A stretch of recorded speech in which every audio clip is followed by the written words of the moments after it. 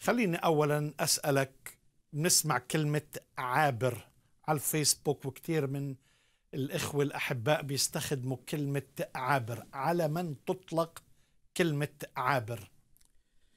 آه، الحقيقة مش عارف آه، طبعا آه، المشاهدين يعرفوا إنه في رسالة في كلمة الله اسمها الرسالة إلى العبرانيين.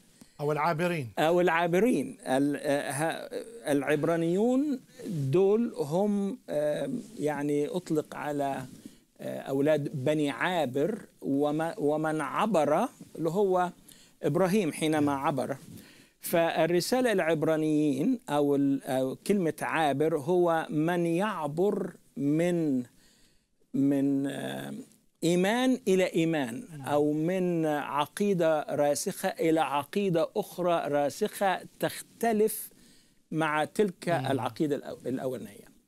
وعاوز أوضح كلمة عابر أنه ليست قاصرة على المؤمنين المسيحيين الذين يعبرون من الإسلام إلى المسيحية بل تنطبق على جميع المؤمنين المسيحيين الذين يعبرون من أي إيمان تاني. أدي لك مثل أنا مثلا. أنا ولدت في بيت مسيحي.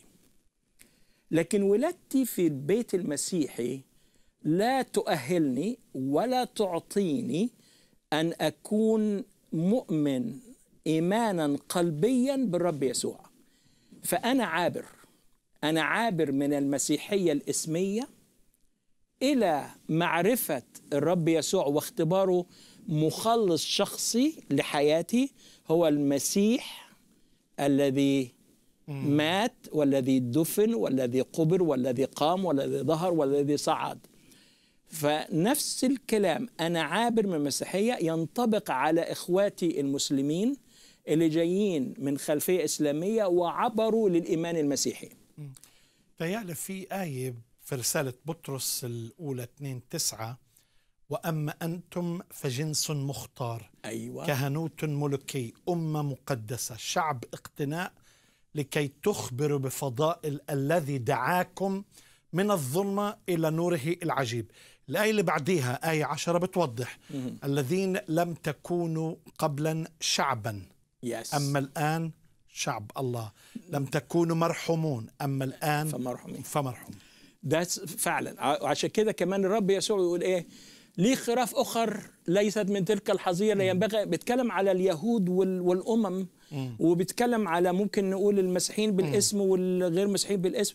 ويكون الاثنين إيه؟ شعب واحد راعي واحد. رعية واحدة. عشان كده مهم جدا آه، إنه خصوصا لإخواتي آه، الخدام وقادة الكنايس. من فضلكم ما تدوش آه، زي ليبل كده أو أو آه، عنوان مميز لإخواتنا العابرين من الإسلام يقول دول العابرين. لكن كلنا قد عبرنا. نحن من المسيحية إلى المسيح وهم من الإسلام إلى المسيح وآخرون من البوذية إلى المسيح. الجميع عابر بس حاليا كلنا رعيه واحدة وراع واحد.